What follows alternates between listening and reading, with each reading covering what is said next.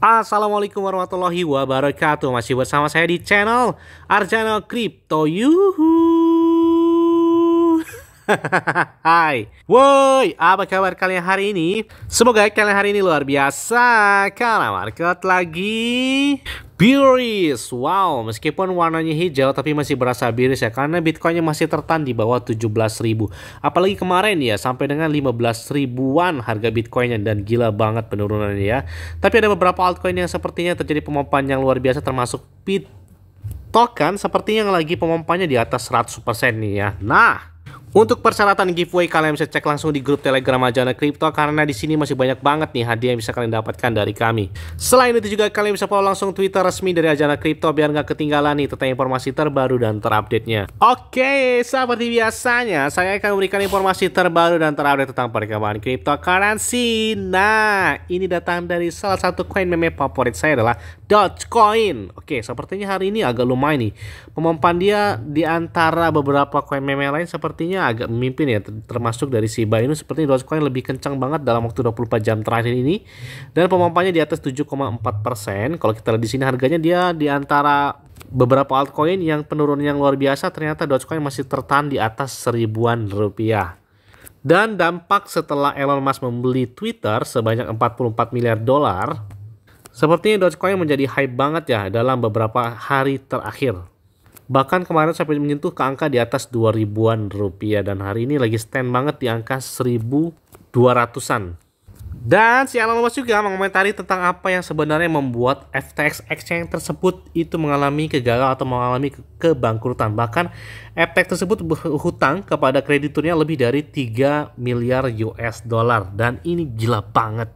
Tidak diragukan lagi mereka ini kehilangan kepercayaan pada si salah satu pendiri dari FTX Exchange dengan setidaknya 1 miliar dolar dana pelanggan itu menghilang dari pertukaran kripto yang saat itu runtuh. Dan yang runtuhnya itu di bulan ini lah ya, di bulan November ini. Makanya banyak yang prediksi bahwa winter season cryptocurrency masih berlanjut katanya sampai dengan akhir tahun 2023 ya, bukan 2022. Karena banyak sekali beberapa kejadian yang membuat beberapa para investor itu nggak percaya tentang cryptocurrency. Jadi mereka khawatir dana mereka ketika melakukan investasi di cryptocurrency karena banyak ada yang dikena hack, kemudian runtuhnya Terra Luna, kemudian juga banyak mengalami kebangkrutan beberapa pertukaran kripto. Jadi banyak banget alasan yang membuat beberapa para investor itu enggan untuk menginvestasikannya lagi ke cryptocurrency yang mana membuat harga Bitcoin juga sepertinya melemah banget. Kemudian ada yang informasi juga dari Alex Valitis adalah pendiri W3T dan mantan peneliti dari Ethereum ya menyelidiki bahwa detail penting Dogecoin dalam penelitian terbarunya, Valitis juga menguraikan dasar-dasar skalabilitas dan kasus penggunaan Dogecoin dalam serangkaian di dalam tweetnya tersebut. Menurutnya, itu Dogecoin adalah blockchain layer pertama mandiri yang berjalan pada mekanisme konsensus pembuktian kerja. Dogecoin dimodelkan setelah Lucky Coin dan Litecoin, seperti dengan LTC katanya. Dogecoin adalah blockchain POW terbesar kedua setelah Bitcoin itu menggunakan teknologi script yang menyiratkan bahwa peralatan penambangan Bitcoin SH256 itu tidak dapat digunakan untuk penambang Dogecoin. Sebaliknya juga bahwa penambang itu harus membeli perangkat FPGA dan ASIC yang kurang bertenaga untuk menambangnya tersebut. Jadi katanya blockchain dari si Dogecoin ini hampir sama seperti dari blockchainnya si Bitcoin.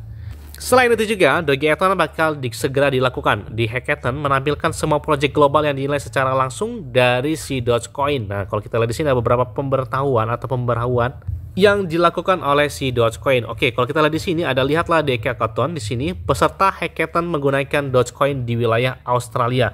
Mata uang seperti itu. Jadi sepertinya ini sudah merajak ke negara Australia.